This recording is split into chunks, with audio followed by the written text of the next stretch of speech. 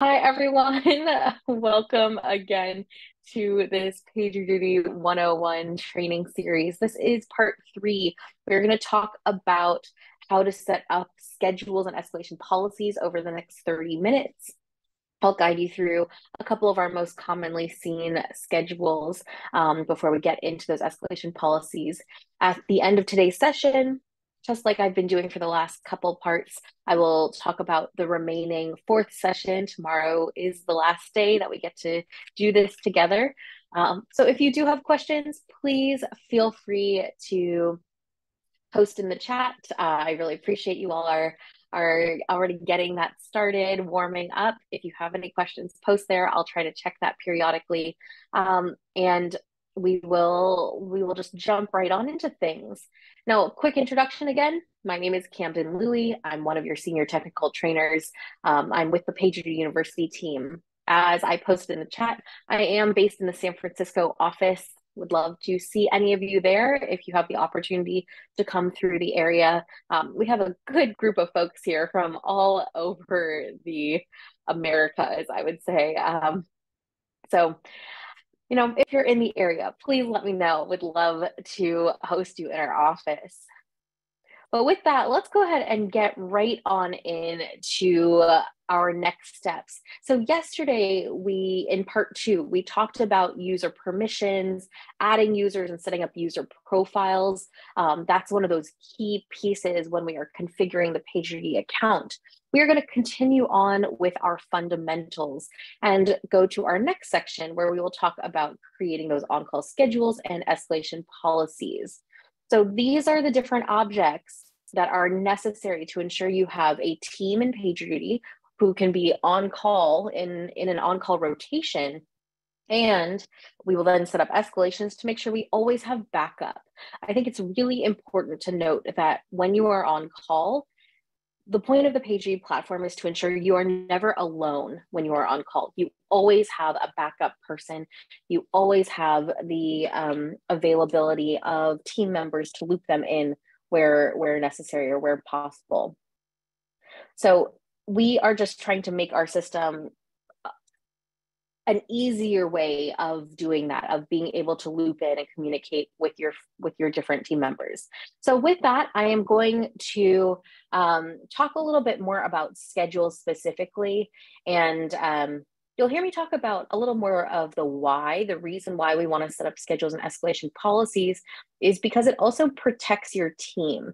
We're only going to contact the appropriate on-call person or perhaps you have a small group of people who need to be contacted, wherever possible, we are going to want to avoid what we call the spray and pray method, meaning you blast an entire team of people with notifications and try to pull them in to work on a problem just in case you need their help.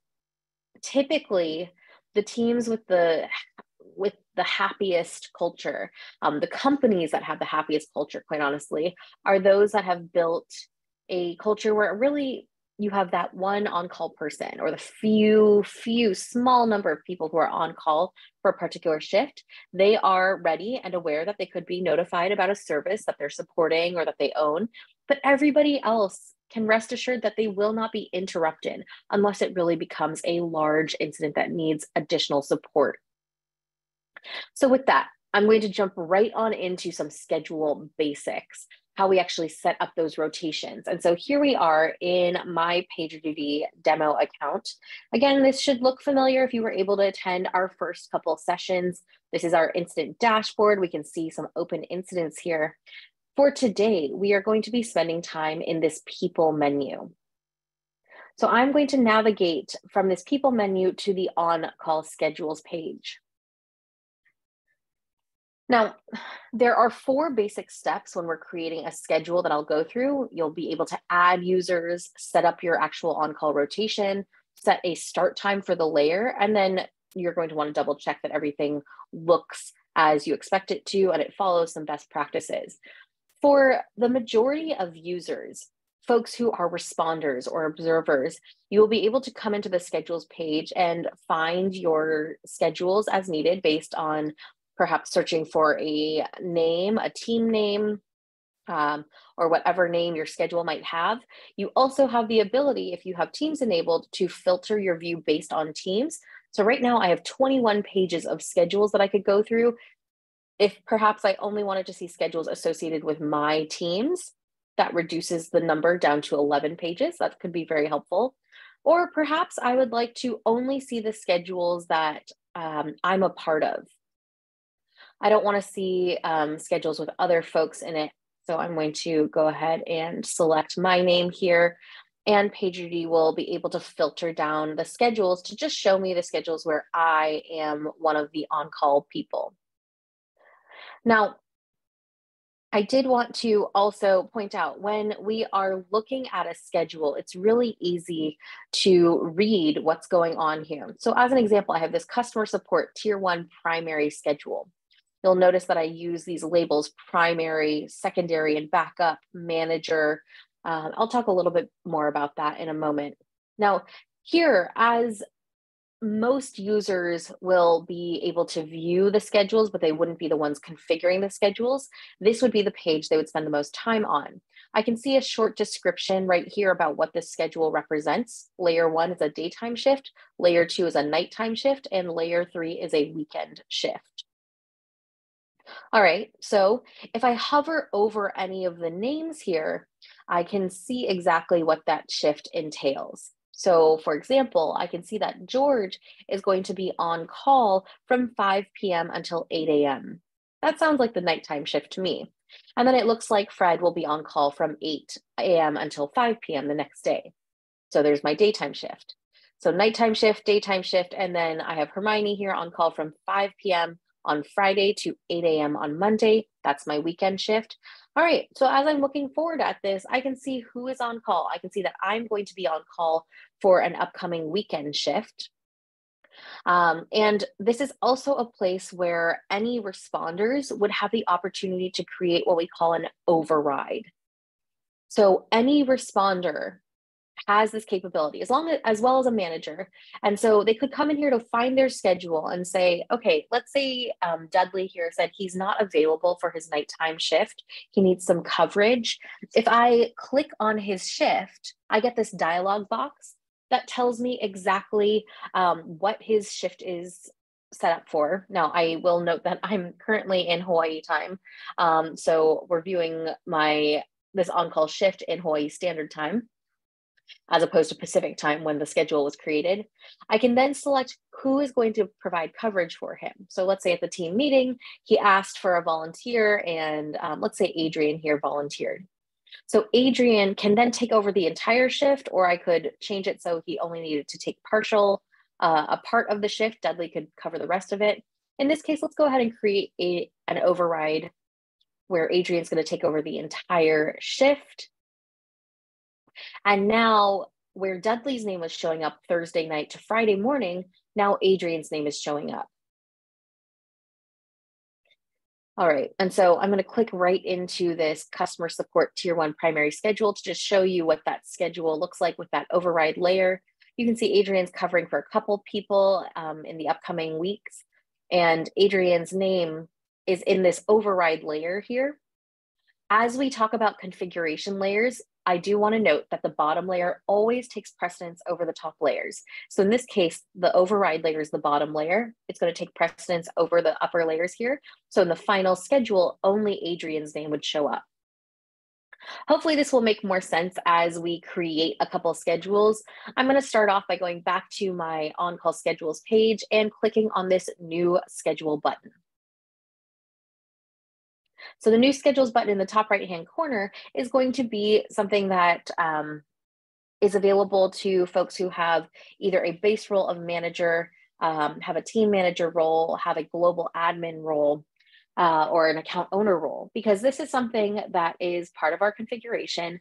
Um, so responders and observers, stakeholders cannot create these objects let's go ahead and give this schedule a name. I'm going to create what I call a very commonly used schedule, a, a weekly rotation. I'm going to call this my major incident management, management or MIM manager schedule. There we go. I could assign a team or different teams to this particular schedule as relevant. I can also choose what time zone I'm going to build this in. Now I said I am currently, and my profile is currently based in Hawaii. Um, so that's how I'm viewing information. That's the, the default. I can also search for a different time zone. If I just wanted um, Pacific time, let's see, it would usually give me a nice uh, drop down here. But for today's schedules, I'm going to be building my schedules in UTC. Um, so this allows me to set things up in a, in a time zone where we are not going to be influenced by any local daylight savings, any time changes. Um, so it's going to be a fixed point because after this manager schedule, you'll see that I'm going to build a couple follow the sun schedules for global teams. Now, in this particular schedule though, our, our simple first schedule that we're going to put together, layer one or the first shift is a weekly shift. So my managers for my major incident management team are going to rotate on a weekly basis. Now I can label this here in the actual layer of the um, of the schedule, or you can leave that layer one label there if you don't want to put anything additional.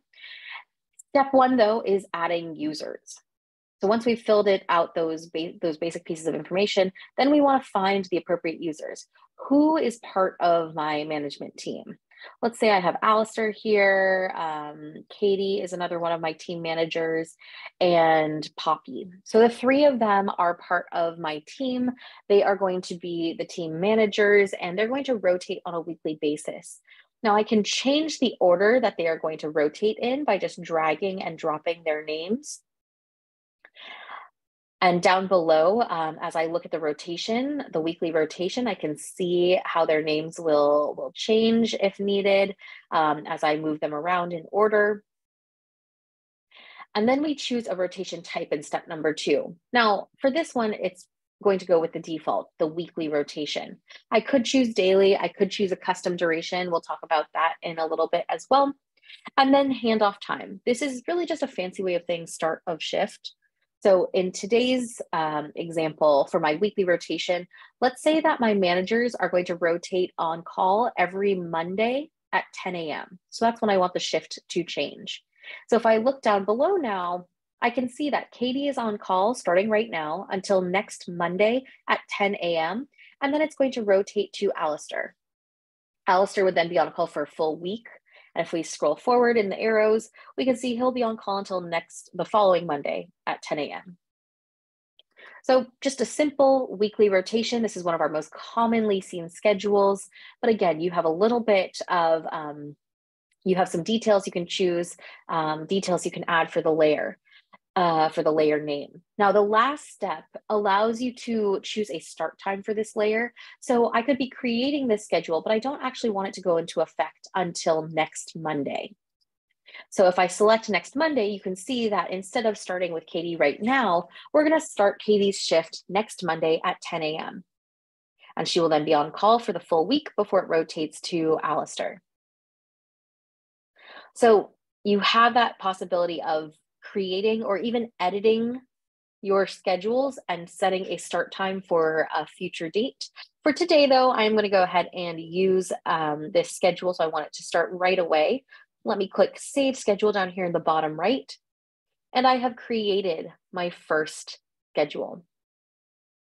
Again, this is a major incident management team manager schedule.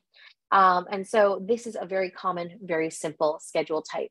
You can change the view that you would use in order to see the times as well. Again, it will default to your account, uh, your personal profile time zone. Um, so that's another reason why it was so important to choose your time zone when we talked about that in our session yesterday. I'm going to navigate back to the on-call schedules page to show you a slightly more complicated schedule now, um, something that we would call a follow the sun schedule. I'm going to click on this new schedule button. We're going to create a brand new schedule. It's still going to be my major incident management or MIM schedule, but I'm going to call this primary. Now, the reason why I'm adding these labels here, manager, primary, backup, or secondary, is because this is going to help me uh, determine what order these schedules are going to be used in when we put them into an escalation policy. Who is the first person who's going to be contacted? Well, it's going to be my primary on-call person. Um, again, I'm going to choose this time zone and set it to UTC. I can add a short description here. Layer one represents my APJ shift. Layer two represents my EMEA shift. And layer three represents my Americas shift. So I have these three regions um, that are covered with our global team. And I want to break up the day into three eight hour shifts. So each layer is going to represent a region. In this case, the first layer will be my APJ region. Um, and so I can come in here, again, very simple, choose those users. So I can scroll through, find the appropriate users. I can search for somebody's name, whatever you would rather do here. Um, let's say I have three users, Draco, Padma, and James. They are part of my APJ team. And how did they want to rotate? The default is weekly, but maybe they decided they wanted to rotate on a daily basis. Now, the handoff time is going to be the start of their shift for the sake of this follow the sun schedule. And because it is set in UTC, I actually have them all set to um, for the APJ shift to be on call from midnight until 8 a.m. UTC. So their handoff time is going to be midnight. A new person will go on call every day at midnight. And if I scroll down, I can see the APJ layer has been created. And Draco here is going to be on call until midnight, at which point Padma comes on call. She'll be on call for 24 hours and then James, and they rotate every day. Okay, so I can leave this layer as is. I want it to start immediately. And let me create layer number two so we can see what it looks like when we have multiple layers here. Because as I mentioned earlier, if we have overlapping layers, only one person is ever going to be on call in a schedule. So here, let's say that I have my users for the EMEA region, um, and I just can choose, I'm gonna stick with just three people for each of these different um, layers. You can have more users, you can have fewer users. Hopefully you have at least a couple people to rotate through though. Um, we don't want just one person on call if we can avoid it. Now, let's keep that weekly rotation. Let's say that our EMEA team said they wanted to rotate every week, um, starting Mondays at 8 a.m., which is again, 8 a.m. is going to be the start of their shift. If we scroll down and we see how those layers overlap, I wanted to remind you that in the final schedule, only Fleur's name is showing up. Not Draco, not Padma, not James, just Fleur, because she's the bottom layer. She takes precedence over the top layer. And so in the final schedule, only Fleur would be the person contacted. In a schedule, you can only have one person who's on call for the rotation. In escalation policies, I will talk a little bit about how we could contact multiple people if needed. But for right now, I want to actually add a restriction for this second step. When I click add restrictions, it allows me to say this shift, instead of being 24 hours of the day for a full week, this is actually going to be restricted to a particular time box, time of the day, or even a particular time of the week if I want to be more granular. For this uh, for this particular schedule, though, I'm going to add a restriction for time of the day to say my my um, EMEA shift is going to be on call from 8 a.m. until 4 p.m. That is their eight hour shift. Let me hit apply. And now we can see that the on call person is only on call for that eight hour period. Now, how does that work with my APJ shift? Well, up above, I had I had my APJ shift just on call for a full 24 hours. I could go back and add that restriction as well and say, I want to only have them on call from midnight until 8 a.m., which is what the APJ shift represents.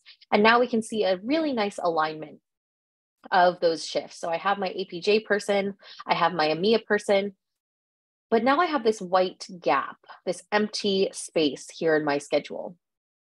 So I did want to emphasize for any of you who are team managers, for anybody who's looking at a schedule, if you see a gap in the final schedule like this, that means we don't have anybody on call for that period. Uh, so I could save my schedule right now and use this, but for this eight hour period, no one is on call, which means we cannot create an incident. So if you have no one on call for your entire escalation policy, so you have these schedules and they all have a gap here, there's nobody on call, we cannot create an incident because there's no one to assign the incident to. So that is something to take note. For right now, let's add a third layer. This is going to be my Americas shift, and I can choose the users who are part of that um, that team. So let's say I have Angelina and Garrick and um, Katie here. Yeah, why not? So I have the three of them who are on call for my Americas team. They said they wanted to rotate on a custom basis. Let's say they rotate every four days. So I have the ability to change the shift length if we choose a custom rotation type. I want them to begin right now, but I actually want the start of shift to be 4 p.m. Let's see, that's actually going to yeah, that should be right. Um, so if we look at our schedule down below, the Americas shift is now showing up four days and then it rotates to the next person. Um, it's overriding everybody else when it comes to our final schedule, which is not what we want. So we're going to add restrictions and we're going to add that restriction to give them their um, on call shift, which is 4 p.m. to let's say midnight. 4 p.m. to midnight is the third and final shift for this layer. So I can see Angelina here is on call, and then it goes to Padma. Padma will be on call for eight hours before it goes to Fleur, and then it rotates between those three regions. Each of those regions, each shift has its own rotation type with its own team of people, but they all fit together really nicely to give us 24 7 coverage. So now I can save this schedule. That is a more complicated schedule. Again, I'm just giving you examples of a couple of our more commonly seen schedules. You should absolutely check out our schedules um, page on our support in our support documentation, our knowledge base, support.pagerduty.com, because we can give you some other examples right in that documentation. Now, I've created this schedule. I've configured all these layers. Fantastic. This is my primary schedule. The easiest way to set up a backup schedule is by using copy this schedule, this button over here on the right. So if I click copy the schedule, it is going to easily copy everything that I put in that previous schedule right here. I just need to put a new schedule name. So as an example, major incident management or MIM team, instead of calling it primary though, let's call this backup or secondary, whatever term you'd rather use.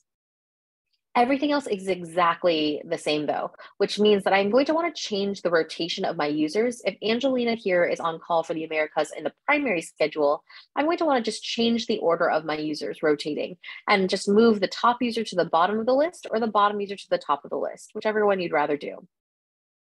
You just need to um, make that change. So here, where Angelina is on call for my primary schedule, Katie, one of her team members, is now on call as her backup or the secondary person. Um, yeah, so great question about setting up rotations. You could choose to do a custom rotation where you rotate every two weeks or three weeks even. So you can have longer periods of time, weekly, daily, and you know, like a a few hours at a time or a few days at a time. Those are our most commonly seen schedules, but do play around because you have that custom feature specifically built in so you can change the shift length for your circumstance. All right, so now that we've changed the order of our users, I can save this schedule, and now I have a very easy secondary or backup schedule. All right, I just wanted to quickly remind you if you wanted to create an override, your users could come in and click on any shift um, of the schedule, that final schedule to create an override. And you have a button over here that says schedule an override. Any overrides created would show up over here on the right hand side. So you could view them. You could also delete those shifts if needed.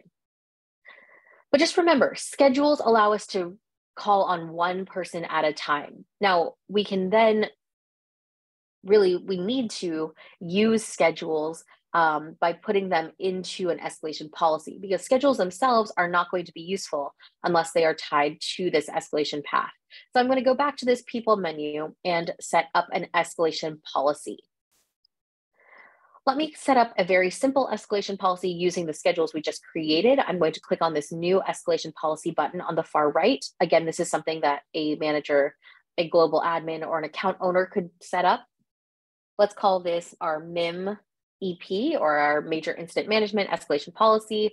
You again would choose the appropriate descriptive name for you. And I wanted to say, okay, what happens when an incident is triggered? I'm going to get right into the meat of this. Immediately after the incident is triggered, rule number one notify the following users or schedules. So I can come in here, click into this box.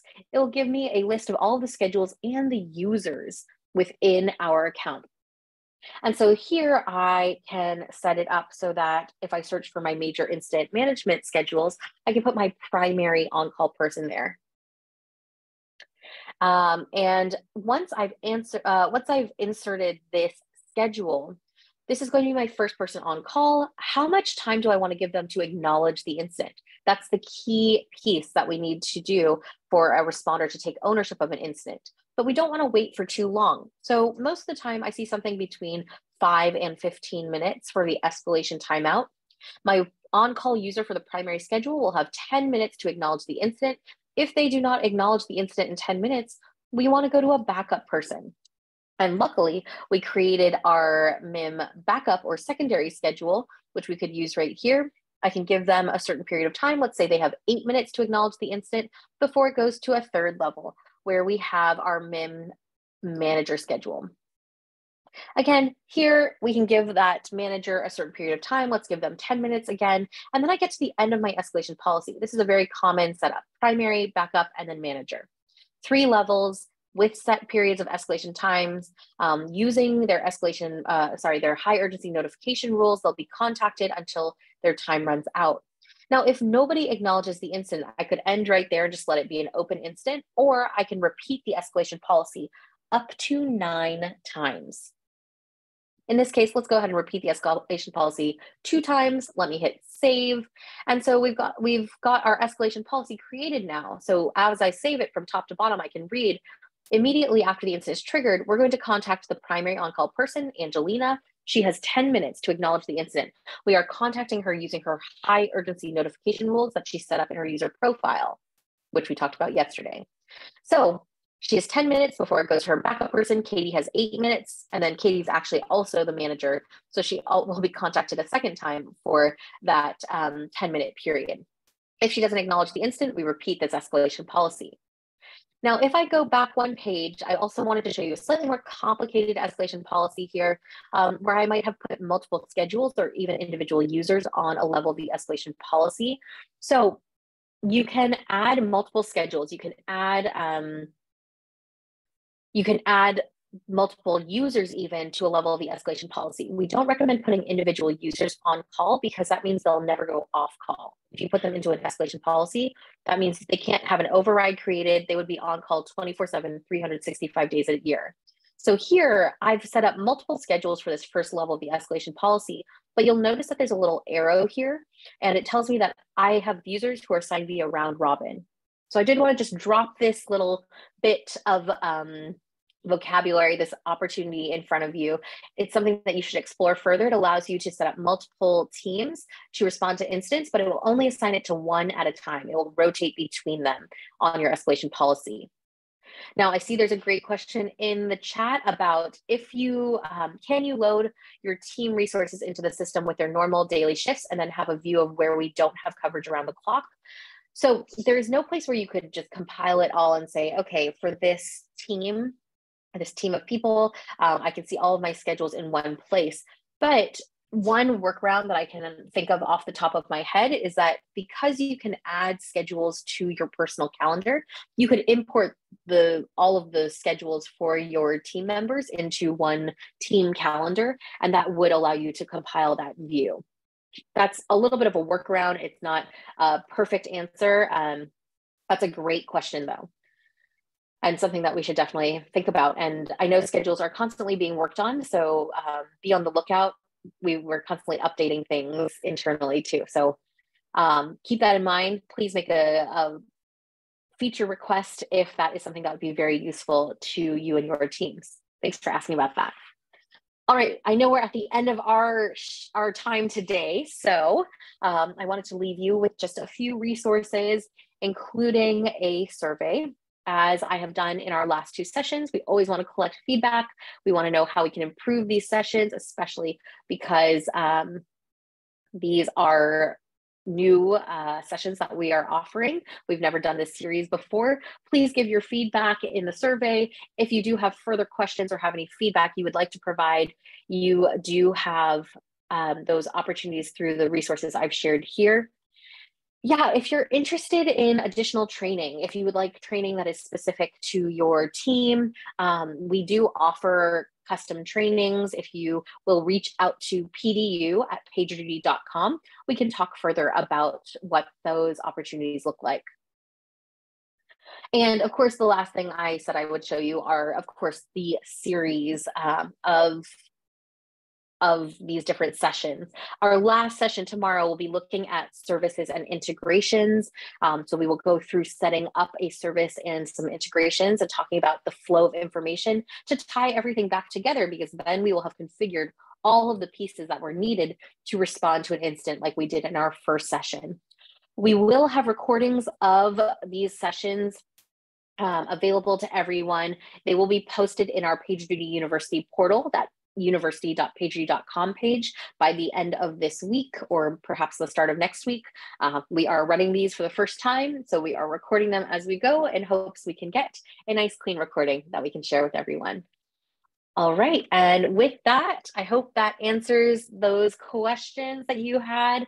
Um, we hope we will see you tomorrow for part four. I will be going through setting up your services and integrations. But in the meantime, please go ahead and start experimenting with these schedules and escalation policies. Um, and we hope that we will see you tomorrow.